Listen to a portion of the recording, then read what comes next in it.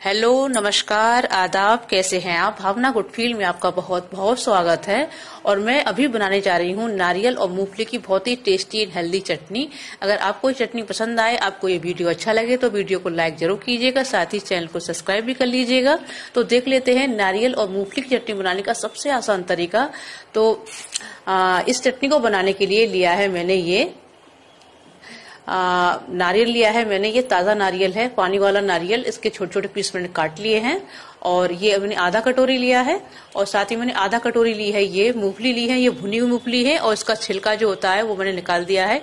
तो आप जब भी चटनी बनाए तो उसका छिलका आप ज़रूर से निकाल दीजिएगा। छिलके से टेस्ट अच्छा नहीं आता है चटनी का। साथ ही मैंने पाँच छह हरी मिर्ची ली है, साथ ही मैंने लहसुन की कलियाँ ली है, और साथ ही एक चम्मच लिया है घी, आधा चम्मच जीरा लिया है, आधा चम्मच लिया है टेस्ट के अकॉर्डिंग काला नमक, दो से तीन चम्मच लिए हैं ताज़ा दही तो सबसे पहले क्या करना है जो मूंगफली ली है मैंने उसको ये मूंगफली भुनी हुई है तो इसको मैंने एक बार दोबारा से इसे घी में तलूँगी ताकि जो चटनी का टेस्ट है बिल्कुल बढ़िया सा आना चाहिए।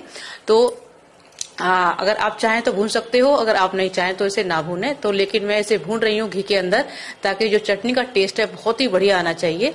तो ये इसको मैंने दो से तीन मिनट के इसको भून लिया है। आप देख सकते हैं, हल्का गोल्डन कलर मूंगफली का आ चुका है।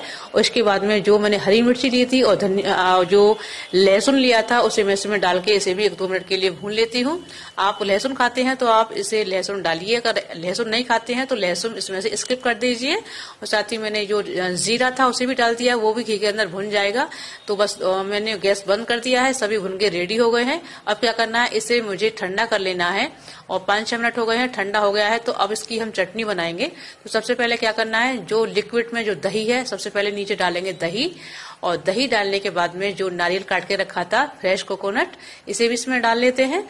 और इसको डालने के बाद में अब जो मूंगफली और लहसुन और हरी मिर्ची को मैंने भून के रखा था घी के अंदर, जीरे को, उसके भी डाल लेते हैं। और इसको डालने के बाद में फाइनली इसे मैंने डाल लिया है। उसके बाद में डालेंगे ये काला नमक। आप इसकी जगह पे नॉर्मल नमक भी यूज़ कर सकते हो।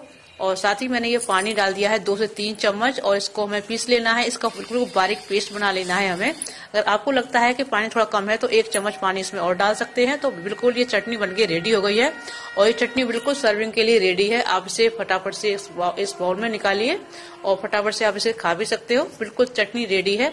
और आपको लगता है कि हाँ थोड़ा सा इसमें तड़का लगा लेना है तो आप लाल मिर्ची और राई का तड़का इसके ऊपर से डाल सकते हो। साथ ही करी पत्ता भी डाल सकते हो।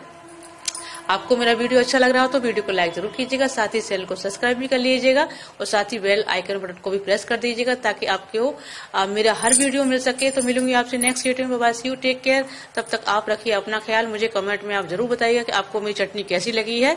Bye see you take care मिलूँगी नेक्स्ट वीडियो में। बाय